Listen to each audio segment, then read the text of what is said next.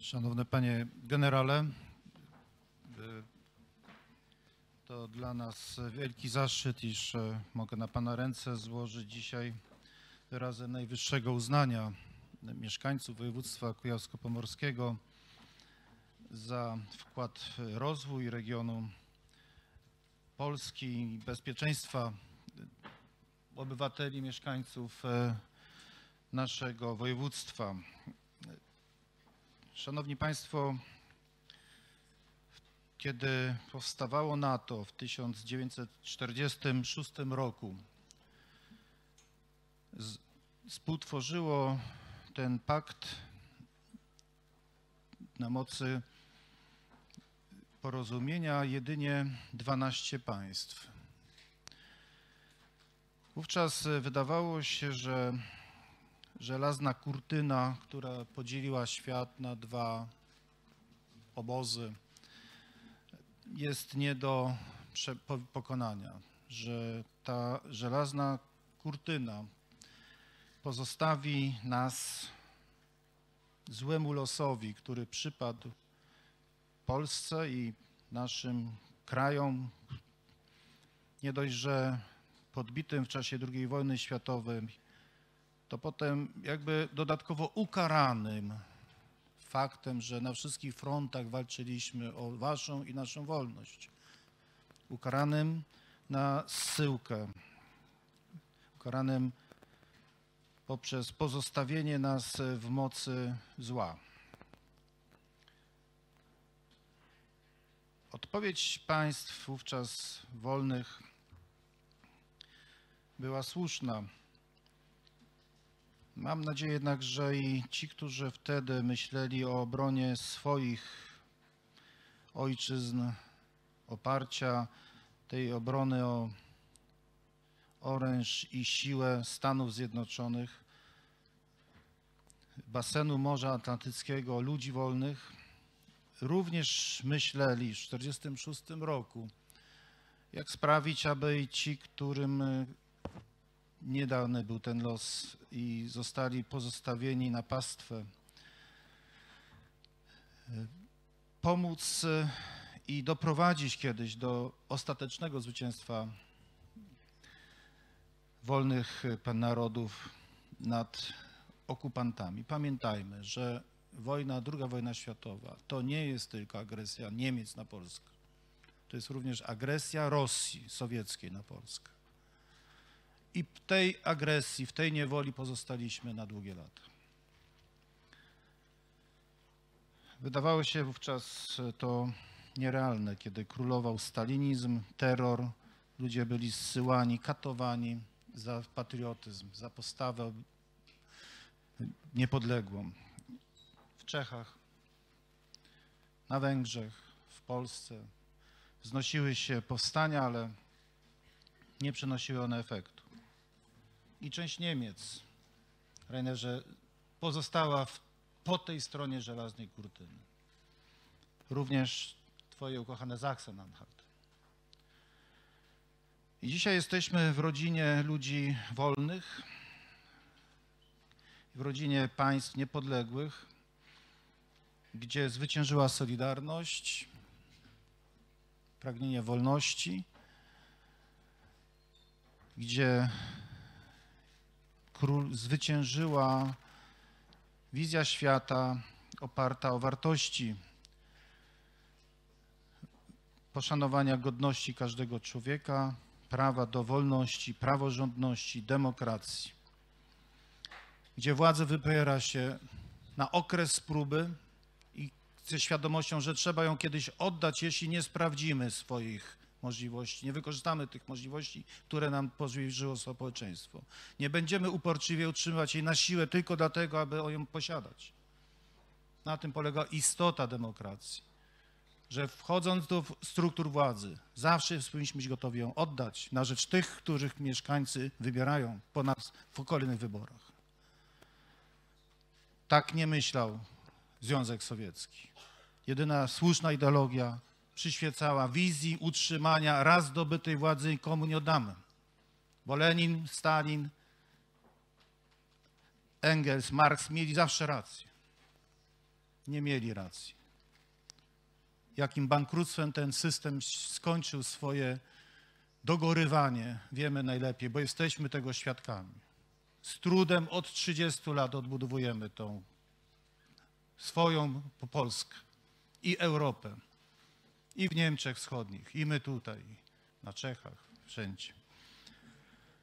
Dlatego szanujmy ten dar, który nam przyniósł również święty Jan Paweł II, który nigdy nie był tylko papieżem i przywódcą religijnym. Pamiętajmy o tym.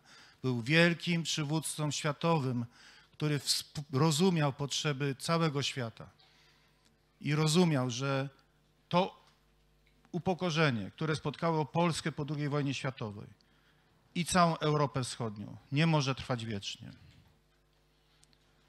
I nie miał lęku mówić o tym, walczyć. Przypłacił prawie to życiem, kiedy zorganizowano na niego zamach, na początku jego pontyfikatu. Mówił o tych wartościach również tu we Wrocławku w 1991 roku. No bo przecież to były pierwsze lata, miesiące właściwie, odkąd odzyskaliśmy niepodległość. Odbyły się w 1989 pierwsze wprawdzie, nie do końca jeszcze wolne, ale wybory, w których Polacy opowiedzieli się, po jakiej stronie są, czego oczekują, jakiej Polski pragną. I tu we Wrocławku nawiązywał do tego dziedzictwa, o którym marzyło kiedyś tyle pokoleń ludzi walczących, czy to w czasie zaborów, czy to tu podczas walki z ofensywą bolszewicką, tu właśnie we Wrocławku w 20 roku, czy potem na wszystkich frontach II wojny światowej, a i potem w podziemiach, w podziemiu, kiedy wyrywaliśmy wolność ulotkami, postawą, demonstracjami i był potrzebny ktoś, kto nam powie, macie wielką siłę. To były miliony ludzi. Sam tu na tym Kruszynie, na lotnisku uczestniczyłem przy święty z moją mamą. Tysiące ludzi wychodzących z pociągu, zatrzymujące się pociągi gdzieś w polu.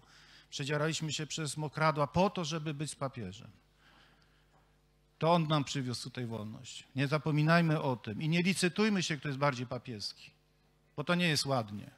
Kiedy w stolicy województwa, kiedy w, tu, w regionie, gdzie papieżem, papie, no, święty Jan Paweł jest patronem, my mówimy sobie nawzajem, kto bardziej powinien się powoływać, nie mniej powoływać. Papież wszystkich przygarnął. Wszystkich. Nikomu nie odmówił prawa do tego, aby mieć prawo do życia w wolnym kraju, dokonywać wyborów. Owszem, budował świat wartości, bo był papieżem chrześcijańskim. Wołał w Europie, w Parlamencie Europejskim w 1988 roku. Europo, opamiętaj się, otwórz na wschód, ale również zachowaj wartości, na których Europa jest budowana. Ta dyskusja trwa do dziś. Ona się nie skończyła. Wciąż jest dyskusja w parlamentach europejskich, w Niemczech, w Polsce, wszędzie na temat życia, prawa do życia. Jest granica, której nie wolno przekraczać. Politycy decydują. Na tym polega demokracja, ale w, polityce, w demokracji każdy ma prawo również wypowiedzieć swoje zdanie. Nie jest to łatwe, wiem, sam, bo tyle lat już pełnię funkcję marszałka i godzić te wszystkie obszary nie jest łatwo też w służbie publicznej urzędnika, który ma obowiązek reprezentować wszystkich jako marszałek województwa, nie tylko jakąś część tego społeczeństwa. Panie generale, y, JFTC, Joint Force Training Center, zawitało do Bydgoszczy w 2004 roku. Jest to jedna z jednostek stacjonujących w Bydgoszczy, najważniejsza. Tysiące oficerów, żołnierzy przybywa do Bydgoszczy na ćwiczenia. To motto, rozwój przez szkolenie, jest niezwykle ważne, kiedy mówimy o naszym bezpieczeństwie i budowaniu, i budowaniu kompatybilnej, kompatybilnej armii polskiej z innymi przecież dwudziestoma siedmioma w tej chwili armiami świata. Ta interoperacyjność wymaga permanentnego szkolenia. Permanentnego. To jest y, zadanie JFTC Bydgoszczy. Przez to możemy być pewni, że żołnierze, którzy posługują się językiem angielskim w tym czasie, w tych czasach, język rosyjski wykorzystują po to, żeby rozpracowywać naszego wroga, który dzisiaj podbija Ukrainę. I to jest ta zmiana, która zaszła w Polsce. Ta sama armia, ci sami ludzie. Dziś to już kolejne pokolenie oficerów, żołnierzy. Służy ojczyźnie takiej, o jakiej marzyła od wielu pokoleń Polska i nasze, nasi dziadowie.